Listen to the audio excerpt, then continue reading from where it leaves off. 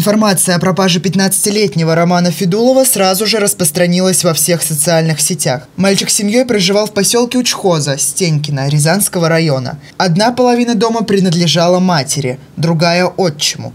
9 октября 2021 года в правоохранительные органы поступило сообщение об исчезновении 15-летнего подростка в Рязанском районе.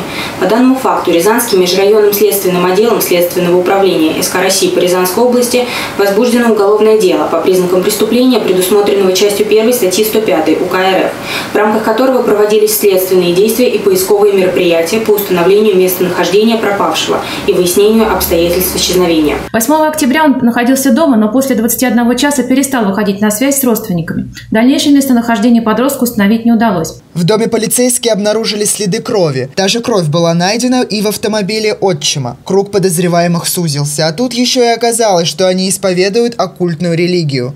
В ходе дальнейшей работы полицейские вышли на след предполагаемых злоумышленников – женщины и мужчины, бывшего отчима пропавшего.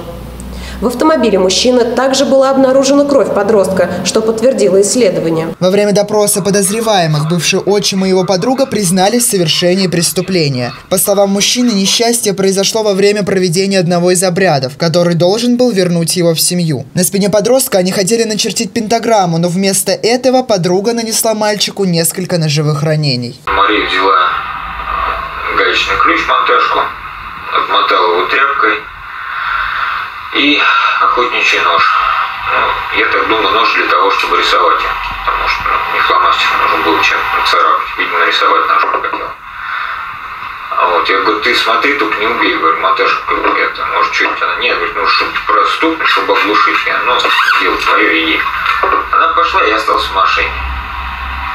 По времени, сколько она была, не знаю, но я сидел в темной машине, среди поля субъективно минут 15 может плюс-минус 5 минут, не знаю, сколько времени прошло, пробегает с круглыми глазами, я его убил.